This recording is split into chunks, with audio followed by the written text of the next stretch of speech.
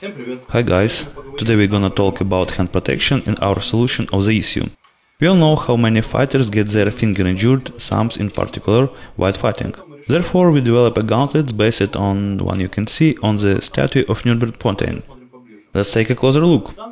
This gauntlet is made of metal 1.2 mm thick here and 1 mm thick here. All the parts are hardened and the inside has a leather gloves, stuffed with 40 armor. The future of the gauntlets is they give additional finger protection. Take a careful close look. We can see that a plate's covered fingers here and here is covered the thumb. How does it work?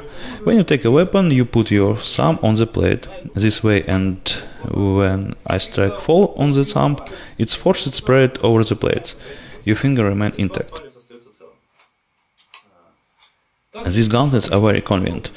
You can fight with a one-handed weapon, as an example with such six-handed mace. As you can see, it fits perfectly. Uh, your weapon won't slip out of your hand when you strike. You can also use a two-handed weapon. These gauntlets are very suited for pole arm. You can hold such weapon with both hands, as your fingers are protected from all sides. It's very important in the fight to get your spread weapon when your main weapon fall on the ground. Wearing these gauntlets, you can easily take your spare weapon from your belt.